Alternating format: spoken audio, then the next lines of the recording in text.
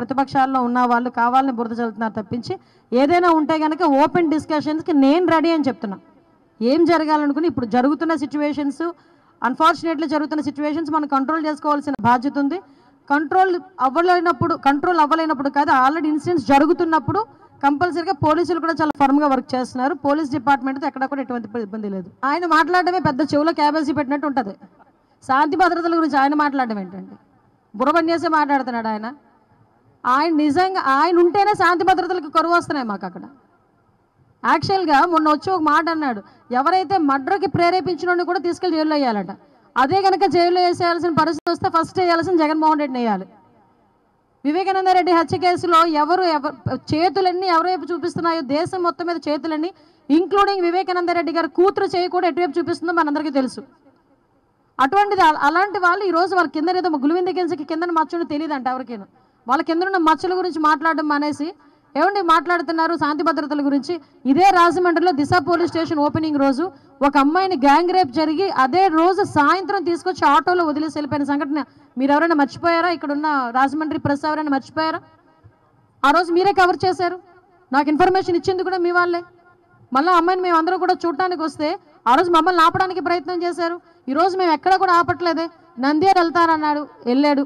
తర్వాత మనం నీకు విండుకొండ వెళ్తానన్నారు. వెళ్ళాడు. వాళ్ళ ఎమ్మెల్యే ఈవీఎం బాక్సులు పగలగొట్టిన ఎమ్మెల్యేని చూడటానికి వెళ్తాను అన్నాడు. వెళ్ళాడు. మేము ఎక్కడా కూడా ఫోర్స్ పెట్టట్లేదు. ఎక్కడా కూడా మిమ్మల్ని ఆపే ప్రయత్నం కూడా చేయట్లేదు. ప్రజాస్వామ్యబద్ధంగా మీరు ఎక్కడికైనా వెళ్తానంటే వెళ్ళండి అని చెప్తున్నాం. అక్కడికి వెళ్ళి వాళ్ళు డివేట్ అవుతున్నారు అంతే. మొన్న వెళ్ళాడు అక్కడికి. అక్కడ మన నంద్యాల వెళ్ళారు. నంద్యాల వెళ్ళిన తర్వాత అక్కడ మాట్లాడిన మాటలు కూడా ప్రజలు ఈరోజు గ్రహిస్తున్నారు. వెళ్ళి వాళ్ళ కార్యకర్త ఎవరైతే చనిపోయారో చనిపోయారు అని అంటున్నాడో ఆయన ఆయన పరామర్శించి వాళ్ళ కుటుంబానికి ఏదో ఆర్థిక సాయం చేసి రావాలి బ్యాక్కి. అవేమి జరగవు. అక్కడికి వెళ్ళి నేనుంటే అమ్మఒడి ఇచ్చేవాడిని నేనుంటే రైతు భరోసా ఇచ్చేవాడిని నేనుంటే అది ఇచ్చేవాడిని నేనుంటే ఇది ఇచ్చేవాడిని ఏక పాట పాడుతున్నాడు. అది అందరం చూస్తూనే ఉన్నాం. అంటే సందర్భాన్ని బట్టి కూడా మాట్లాడడం చేతకాక ఏది పడితే అది మాట్లాడే పరిస్థితిలో ఈరోజు పులివెందుల ఎమ్మెల్యే గారు జగన్మోహన్ రెడ్డి గారు ఉన్నారండి. అది ఆయన నైజం అంతే. ఆయన భద్రత దగ్గర కుదించాం మీరు నేను వెళ్దాం పదండి ఒకసారి. ఆయనకి ఎంత భద్రత ఇచ్చామో మేము చెప్తాం. ఎక్స్ సీఎంగా ఆయనకి ఇవ్వాల్సిన జెడ్ ప్లస్ సెక్యూరిటీ ఆయనకి ఇచ్చాం.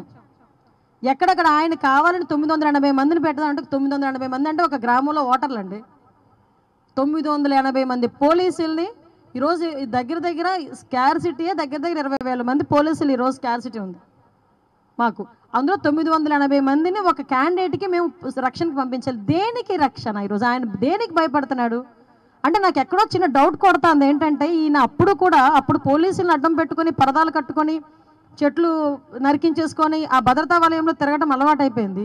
ఈరోజు నిజంగా కనుక బయటకు వస్తే ప్రజలు ఏమైనా తంతారని భయపడుతున్నాడా జగన్మోహన్ రెడ్డి? అందుకే తొమ్మిది వందల ఎనభై మందిని సెక్యూరిటీ అడుగుతున్నాడు ఈరోజు. దేనికి అడగాలి తొమ్మిది వందల ఎనభై మందిని సెక్యూరిటీ నేను ఏమంటానంటే as per rule as per norms ఒక ఎక్స్ సీఎంకి ఇవ్వాల్సిన సెక్యూరిటీని ఇచ్చాం. బుల్లెట్ ప్రూఫ్ వాహనాలు ఇస్తున్నాం. ఇప్పుడు ఈ రోజుకి కూడా చంద్రబాబు నాయుడు గారు హైదరాబాద్ వెళ్తే సఫారియా ఇస్తారు. బుల్లెట్ ప్రూఫ్ కావలసిన డిపార్ట్మెంట్ వాళ్ళు ఉన్నారు ఇక్కడ అడగండి మీరు. అదే అందుకే ఫార్చునర్ కానీ సఫారీ కానీ ఏదో ఒకటి ఇస్తారు అక్కడ. ఆయన దగ్గర సంథింగ్ క్రూ ఇంకొకటి ఏదో ఒక రెండు వెహికల్స్ ఉన్నాయి. బుల్లెట్ ప్రూఫ్ వెహికల్స్ సో ఓవరాల్గా చెప్పాలంటే ఆయన భద్రతను ఎక్కడా కూడా ఎవ్వరూ తగ్గించలే.